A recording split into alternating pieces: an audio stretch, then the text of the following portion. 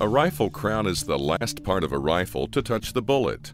Special attention to the manufacturing processes will enhance the overall accuracy of the firearm. As in all barrel fitting operations, the most important step in cutting the muzzle crown is setting up the bore on center. A crown that is square to the bore will allow the bullet to release consistently, so special tooling and measuring devices are utilized to fixture the barrel precisely. The first operation and turning tool faces the barrel and puts a radius on the outside edge to minimize coating wear.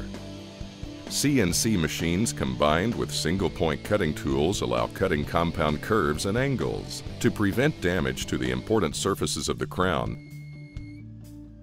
The boring bar cuts the 11-degree target crown in a small recess. The CNC program allows precise control of the depth of the recess and the angle of the crown.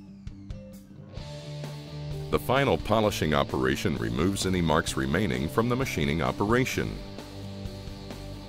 In comparison, a factory barrel crown is not as complex. After final inspection, this barrel is ready for assembly.